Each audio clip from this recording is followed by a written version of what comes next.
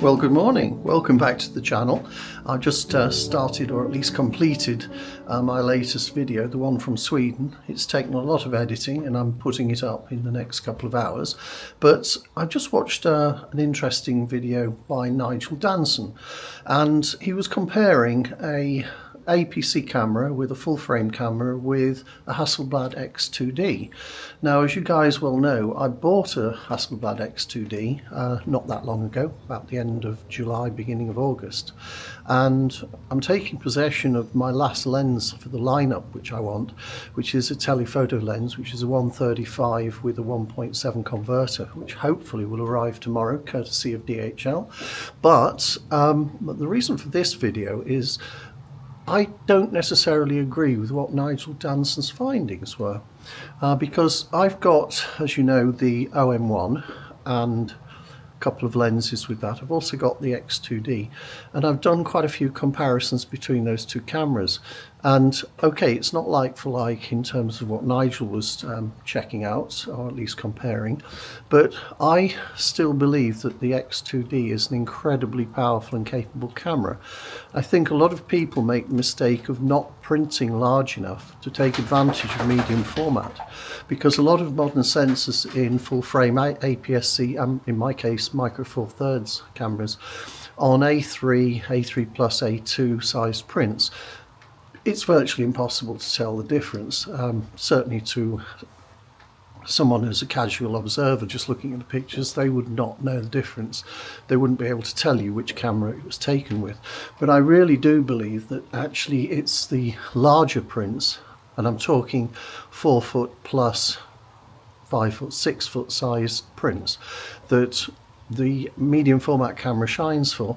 Now, okay, most people never print to that size, so that's a good use case for not actually purchasing a camera with 100 megapixels and the disadvantage of being a medium format camera with limited lens lineup. But that aside, the sheer pleasure of using that camera, um, it makes me get out and want to take pictures because I'm resorting back to basics with that camera um, it doesn't have any video capabilities. Yes, it's got image stabilization, so I don't always need a tripod, but it is simply a real joy to use. I appreciate that a lot, not a lot of people can afford to buy a camera like that, and in my case, the only reason I can is I wanted one since they came out, but um, I recently inherited some money, and it was my mother who died, and she would really be very pleased for me to have exactly what I want or desire in terms of photographic equipment. So, in many ways, it's partly in memory of her that I'm um, buying these things, and it's also, as much as anything, a case of having to get it out of the system. I'm also making this uh, video or piece to camera on this new DJI Osmo Pocket 3 which I took possession of, when was it, Friday I think. And it's such an improvement over the Pocket 2 I've been using previously. The audio quality, the video quality and the capabilities of it generally, so I've walked outside, I know it's slightly raining but the video uh, quality is amazing, it handles dynamic range far better than the Pocket 2. Unfortunately, it's a shame they didn't make it waterproof, which means I can't really spend very long outside talking to you, but it is a very, very, very capable camera. Uh, it's got extended battery life, which is good, and I'm just walking, ambling around the house here so that uh, we can get different lighting conditions so you can see how and what it's doing in terms of um, a videoing device. Having had several video cameras in the past, uh, including the Sony ZV-1, ZV-1 II, this is so much more um, capable, compact and easy to have with you combination. So I'm going to get the X2D out and I'm going to get my OM1 out and I'm going to take an incredibly boring picture of, and this will be I can spin you around more easily with this camera. I'm going to take a picture of a couple of trees in the garden here, probably with this little fig tree in the foreground. And we'll do some pixel peeping and see if I come to the same conclusions that Mr. Danson came to. Um, I might not because I've had the camera longer than he had his because he had his loan by Hasselblad and I've actually had mine for several months now so I've had more opportunity to use it but um, let's really see how it can do. Watch me get set up and then we'll take the pictures. Right, I've got the uh, the Hasselblad X2D here and this lens is the 90mm lens which has got a crop factor of 0.8 so 8972 it's equivalent of a 72 millimeter full frame lens. So let's get this mounted on the tripod. And what I'll do is I'll focus that on the tree on the fence line in front of me here. So now I can use both hands. Let's spin that round. So the tree that's over there the walnut tree is in the frame. Let's set the um, focus point on the trunk. The trunk of the tree has a lot of ivy on which should provide very fine detail which will make it interesting. So let's get, we need an aperture of about f11. I'm only interested in the bit between the tree and the, uh, the fence line being in focus. I think that'll be enough depth of field for the purposes we have here. I'm going to turn the image stabilization off because I'm on a tripod and I don't really want to have it competing with the tripod so turn that off. It's focused quite happily the exposure's right f11 0.3 of a second. Let's put a two second timer on so that we don't interfere with what we're doing by moving the tripod at all. And that's focusing. Countdown two seconds click click click quick check on the back of the camera. And that detail looks impressive to say the least. So I'll pop you back onto the mantelpiece. And will it recognize me again this little Osmo? It doesn't appear to recognize you the second time. It says exit but it should. I'll just start it again. Right so face tracking is now enabled again, so that's got me in here. So having got that shot, let's take this camera off and pop that next to you on the mantelpiece carefully and go and get the OMD, which is over here. Take the lens cap off, I always find that's a useful thing to do. So the OMD's got the 40 to 150 lens on it and we decided that was 72 millimeters which is 36 millimeters on here. So 36 millimeters the smallest this will go to is 40 so we'll leave it at 40 that's going to be a slightly different framing but not by very much. I'll get that on the tripod. Power it on it should be pointing at the tree in the same way it is. And I'll show you what this shot's going to take and I'll turn the image stabilization off as well. But this is going to be a high res shot so it's on the tripod so I need to set it to tripod mode which is that option there. And I need to set it to 80 uh, megapixels and a raw file, which is that. So I move the focus point onto the tree like so. And to be completely equal, we'll have a two second timer. Two second timer, reset the focus point, and we're at ISO 80 f8. Let's just make that f11 to be a fairer comparison. Let's compare, take that shot.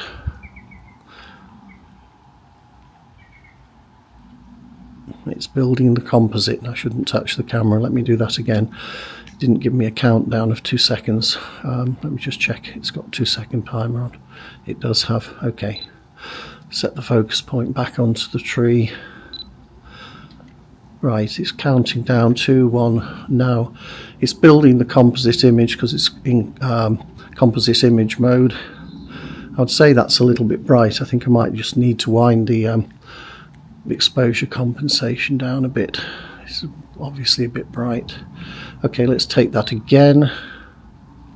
two second, one second, no seconds, one, two, three, four, five, six, whatever. That's taking the picture, it's now compositing that, if that's the correct term. And let's go over to the computer and see what those look like. Okay, I'm now in Lightroom. Um, you'll have my little face in the corner of the frame, unfortunately, while we go through this. And as we can see here, we've got the four pictures I took. I took one with the X2D, and then I took two which were a bit blown out so I'll get rid of those now so that we're not confusing matters so that the one on the left is the X2D and the one on the right is the OM1. The OM1's picture is very slightly more yellow. The greens are certainly nicer, which is a finding that Nigel Danson found uh, with the X2D. And if you've seen the other videos I've made, uh, you'll know I really do like the colour science that uh, Hasselblad have brought into play in this camera.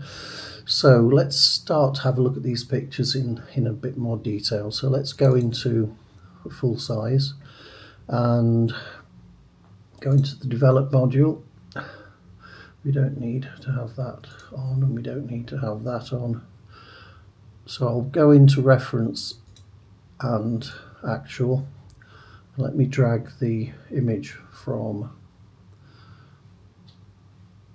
the OMD to the left side.